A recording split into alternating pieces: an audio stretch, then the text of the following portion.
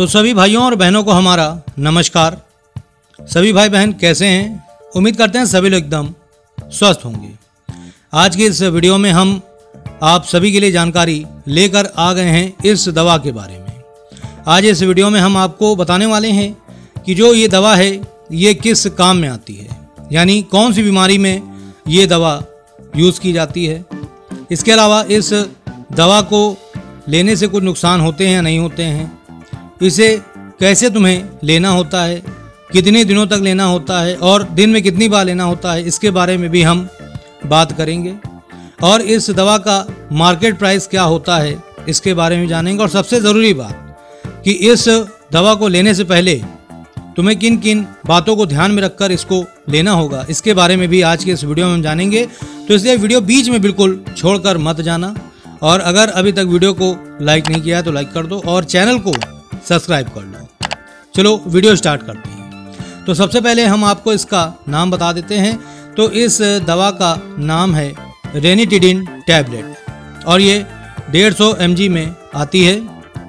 अगर हम बात करें इसके मार्केट प्राइस की तो इसमें आपको 10 टैबलेट मिलती हैं।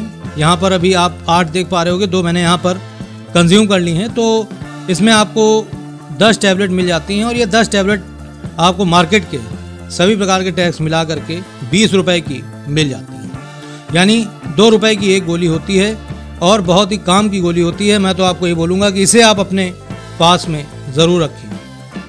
ठीक है? अगर हम बात करें इसको बनाने वाली कंपनी की तो बायोजेनेटिक द्वारा इस दवा को बनाया जाता है। अगर हम बात करें तो ये मुझे जो यहाँ पर देख पा रहे होगे, ये जो स्ट्रिप मिली है, ये मुझे सरकारी अस्पताल से मिली है तो वहाँ पर ये बिल्कुल फ्री में मिल जाती है।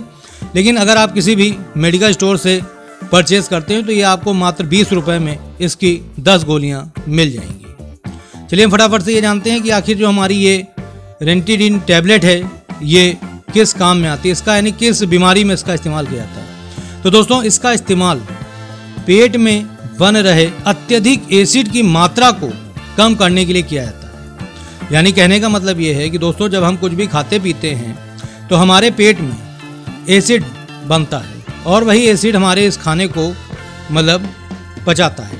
ठीक है? लेकिन दिक्कत जब हो जाती है, जब ये एसिड अत्यधिक मात्रा में बनने लगता है तो ऐसे में हमारे कई सारी समस्याएँ होने लगती हैं। उसी एसिड की मात्रा को कम करने के लिए ही इस टैबलेट का इस्तेमाल किया जाता है। दोस्तों, जब आप बहुत ही अत्यधिक मात्रा में ऑयली फ़ूड खाने लग जाते हैं या फास्ट फ़ूड खाने लग जाते हैं तो ऐसे में आपके जो समस्या है वो बहुत ही ज़्यादा होने लगती है और ख़ास तौर से उसमें आपको कई और तरह की बीमारियाँ हो जाती हैं जैसे सीने में जलन होने लग, होने लग जाती है या खट्टी डगारें आने लग जाती हैं अपच की शिकायत हो जाती है। बहुत से लोगों को आज के समय में अपच की शिकायत हो गई है। इसके अलावा दोस्तों आप अगर इसे नज़रअंदाज करते हैं या हल्के में लेते हैं तो इससे आपके स्टमक अल्सर भी होने का खतरा काफ़ी ज़्यादा बढ़ जाता है। इसके अलावा केवल यहीं तक नहीं सीमित होता, इसके अलावा आपके इंस्टेस्टाइन अल्सर भी होने का खतरा काफ़ी ज़्यादा बढ़ जाता है। ठीक है? तो अगर आप इन सभी बीमारियों से बचना चाहते हैं अगर आपके स्टमक अल्सर या इंस्टेस्टाइन अल्सर हो गया तो उस समय भी आप इस रेंटिडिन टैबलेट का इस्तेमाल कर सकते हैं। बहुत ही ज़बरदस्त होती है। इसके अलावा जिन लोगों के एसिड रिफ्लक्स की प्रॉब्लम है, जिसे हम जी ई आर डी के नाम से भी जानते हैं तो उसमें भी बहुत ही ज़बरदस्त होती है हमारी ये टैबलेट तो उम्मीद करते हैं कि आप समझ गए होंगे कि किस लिए इसका इस्तेमाल किया जाता है। इसके अलावा दोस्तों, जो आपके अल्सर हो जाता है, ठीक है?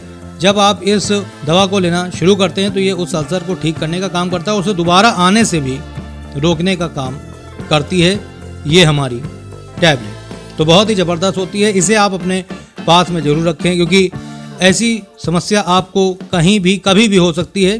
तो अगर आप इसे अपने पास में रखते हैं तो आपको बिल्कुल भी देर नहीं करनी होगी। तुरंत ही आपको इसे ले लेना है, आपको आराम जल्द ही मिल जाएगा। चलिए, अब हम बात करते हैं इसके साइड इफ़ेक्ट्स के बारे में। तो दोस्तों, यहाँ कुछ इसके साइड इफ़ेक्ट्स देखने को मिल सकते हैं, जिसमें पहला है सिर में दर्द होना, दस्त लग जाना या किसी तरह का गैस्ट्रो इंस्टेस्टाइनल डिस्टर्बेंस होना। तो इसके कुछ ये नॉर्मल से साइड इफ़ेक्ट के सिम्टम्स हैं।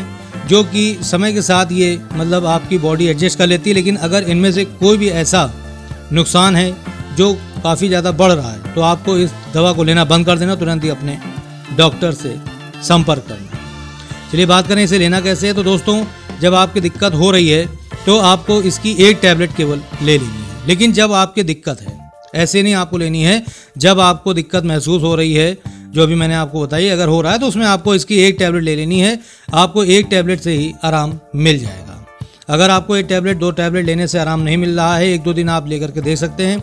अगर आपको आराम नहीं मिल रहा है, तब आपको इसे लेना बंद कर देना है, तुरंत ही अपने डॉक्टर से संपर्क करना चलिए, फटाफट से अब हम बात करेंगे इसके सावधानी की। तो दोस्तों, यहाँ कुछ इसकी सावधानियाँ ध्यान में रखते हुए इसका इस्तेमाल आपको करना है। जिसमें पहली सावधानी ये है कि अगर आप शराब वगैरह लेते हैं तो उस समय आपको इसे नहीं लेना है। अगर आप लेते हैं तो ये आपके लिए हानिकारक हो सकता है। जो महिलाएँ प्रेग्नेंट हैं या जो महिलाएँ ब्रेस्ट फीडिंग करा रही हैं, वो इस दवा को बिना डॉक्टर की सलाह लिए बिल्कुल भी कंज्यूम ना करें।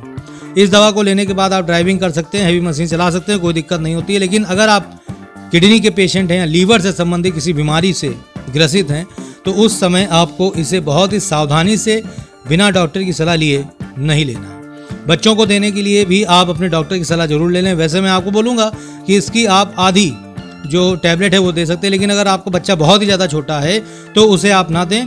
और सबसे बेस्ट तरीका होगा कि आप एक बार अपने डॉक्टर से सलाह लेकर के इसे अपने बच्चे को दें। वो सबसे बेस्ट तरीका होगा।